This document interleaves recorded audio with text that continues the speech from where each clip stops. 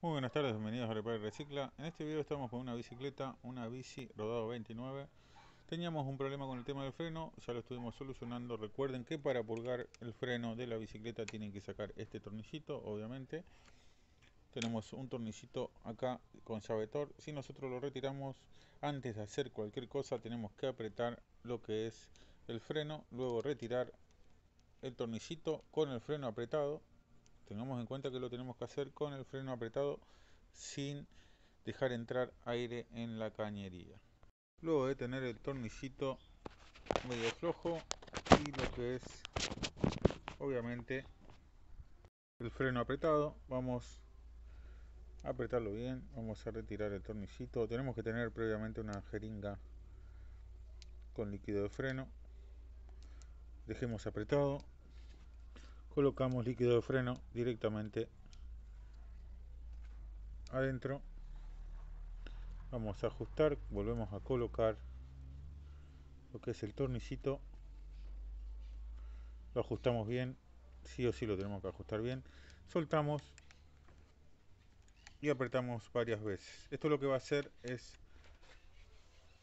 hacer presión del líquido en la cañería obviamente en la parte de abajo ahora vámonos a la parte de abajo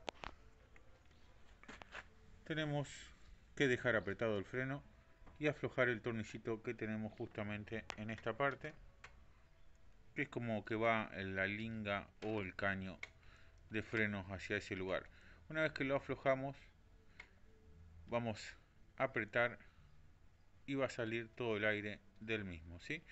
vamos ahora a acomodarnos para poder firmar y hacer ese purgue. Tengan en cuenta que es este el que tenemos que aflojar. Vamos a aflojar muy, muy poquito. Ahora sí, vamos a apretar.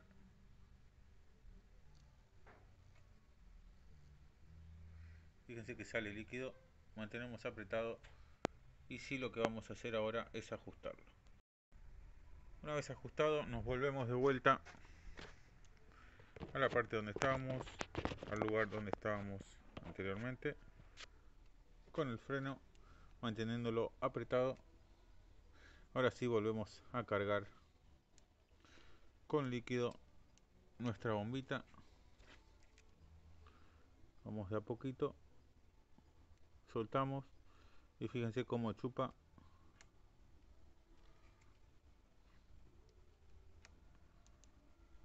de esta forma logramos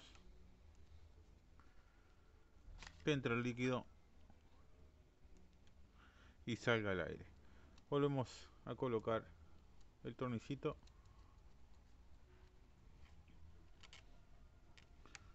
Apretamos varias veces y ya quedaría nuestra bicicleta purgada